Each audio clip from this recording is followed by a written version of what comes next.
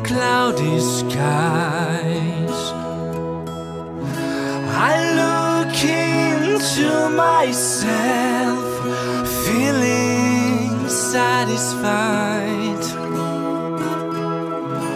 A place to call my home, a future full of hope.